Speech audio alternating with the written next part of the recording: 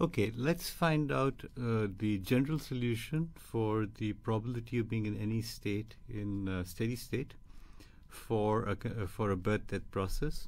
So remember that the probability of being in any state uh, in the stationary probability distribution is given by this equation over here in, in uh, sort of compact form. We have the vector pi 0 star, pi 1 star, pi 2 star, etc. And then this is multiplied by the Q matrix, and we're going to set the product is equal to 0.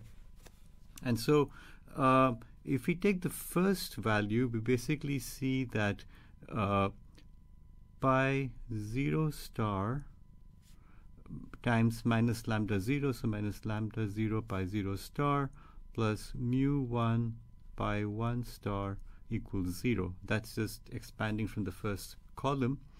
And so uh, we can just do a little bit of manipulation and write down pi 1 star is equal to lambda 0 by mu 1 pi 0 star. Sorry, pi 0 star. Pi 0 star over there. So uh, that gives us one equation.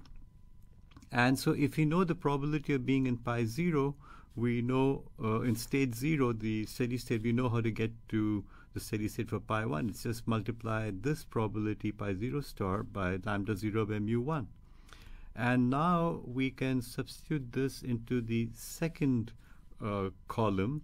And if we do that, a little bit of manipulation, we find that pi 2 star is given by uh, lambda 0, lambda 1 by mu 1, mu 2 pi 0 star which has this nice little pattern going.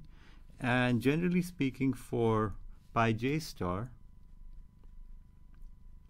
is going to be lambda 0, lambda 1, all the way up to lambda j minus 1 over mu 1, mu 2, all the way up to mu j pi 0 star. And you can represent this as pi 0 star times product from i equals 0 to j minus 1 lambda i by mu i plus 1. So uh, this is the general form for pi j star, but of course everything is going to be expressed in terms of pi 0 star. So how do we find pi 0 star in the first place? Well, we know that these probabilities all sum to 1. So sigma pi i star equals 1, i equals 1 to j. We're going to look at for all, all the states. And so uh, we can therefore write down uh, pi 0 star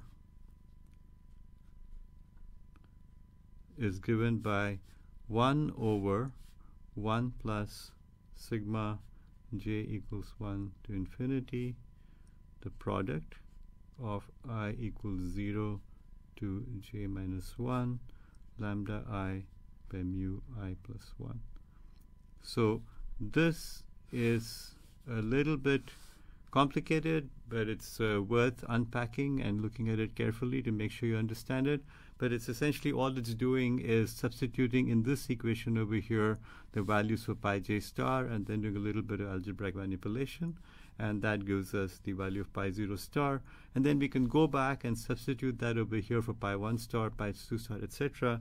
And that gives us the probability of being in every state. Now, one thing to watch out for is that this bottom sum over here is, uh, is an infinite sum, and you have to make sure that it converges. If it doesn't converge, then of course we have a problem because then we don't have the right values. There must exist some uh, j naught such that for all j greater than j naught, for all values greater than j naught, lambda j is less than mu j. Uh, what does this mean? It means that once we get to the state j naught, all arrivals rates are less than service rates. And so we kind of have this, uh, if you draw it like this, we have some chain and then uh, if we get to some value, j, this is state j naught, then after that we must always have the the probability, so the transition rates to return down towards zero, towards the state zero, to be higher than the rates at which you're going up. So you're kind of getting the pulling the queue back down, the population size back down towards zero. Otherwise, the queue gets unbounded.